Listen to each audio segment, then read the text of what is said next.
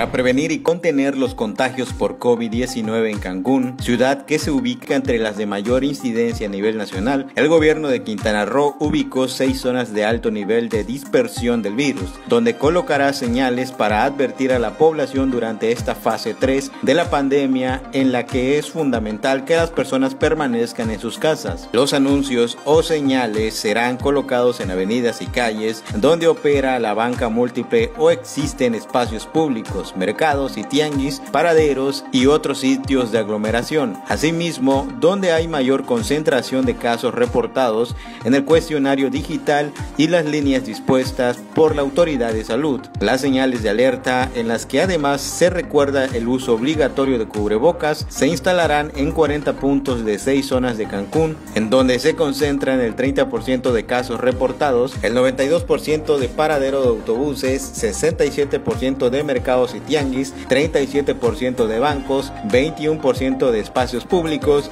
y 26 de sitios de aglomeración en la ciudad.